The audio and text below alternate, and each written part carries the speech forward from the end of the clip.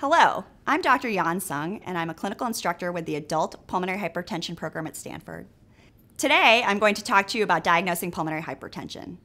What is it, and how do we get there? The most common symptom of pulmonary hypertension is shortness of breath, particularly with activity or exercise.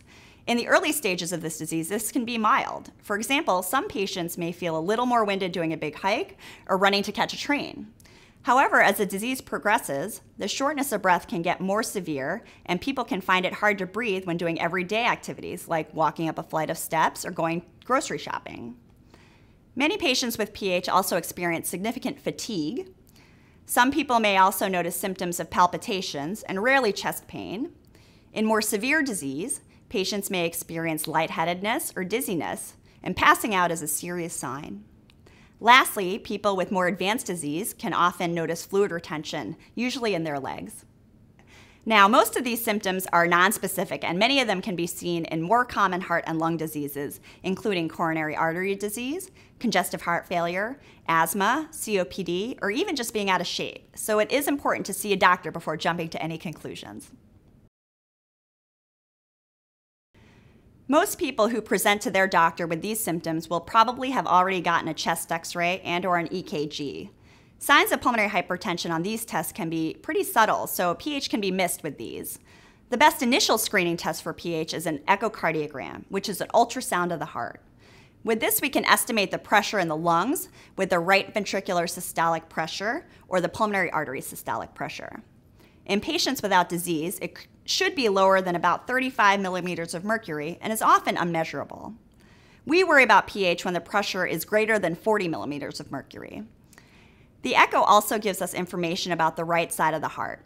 The right heart is responsible for pumping blood to the lungs, and if the pressure in the lungs is elevated, this puts strain on the right side of the heart. So we may see right-sided enlargement and dysfunction. The first thing that we would recommend is a full evaluation. When we first evaluate patients, we need to take a thorough history of symptoms, previous medical history, family history, and a history of substance use. Also, a complete physical exam is helpful for looking for signs for possible pulmonary hypertension. If after those things we have a strong suspicion for PH, we recommend a bunch of testing to look for what the possible cause for PH may be. There are a lot of different causes for PH, so buckle in, this is a long list of stuff. For all patients, we do routine blood testing to check blood count, kidney function, and liver function.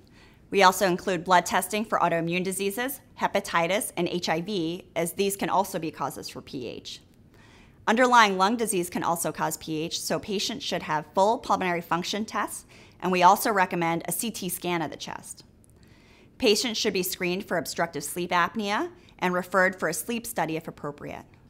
Chronic blood clots in the lung can also cause PH, so all patients should have a lung imaging test called a VQ scan. Also, we routinely do assessments of how well you can exercise. This is usually done with a six minute walk test, but sometimes we recommend more advanced exercise testing with a bicycle or treadmill test. Finally, in order to know for sure that you have PH, we perform a procedure called a right heart catheterization. In this procedure, we take a catheter, which is a long, thin tube, and insert it into a vein either in your leg or in your neck, and then fish it into the right side of your heart and then into the lung. With this, we can directly measure the pressure in your lungs. Finally, in order to know for sure that you have PH, we need to perform a procedure called a right heart catheterization. In this procedure, we take a catheter, which is a long, thin tube, insert it into a vein either into your leg or in your neck, and then we fish it into the right side of the heart and then into the lung. With this, we can directly measure the pressure in your lungs. Yes, many studies have shown that while the echocardiogram is a great screening test, the pressure measured can differ from the catheter measured pressure by plus or minus 20 millimeters of mercury. The cath is the only way to confirm that you definitely have PH. Also, not only does the right heart cath tell us how high the pressure is, but it can also tell us how well the heart is functioning, it can clarify the cause of PH, and it can allow us to do testing to see if you can be treated with certain medications. It is a same day, relatively low risk procedure that is essential for helping us know how your PH should be treated.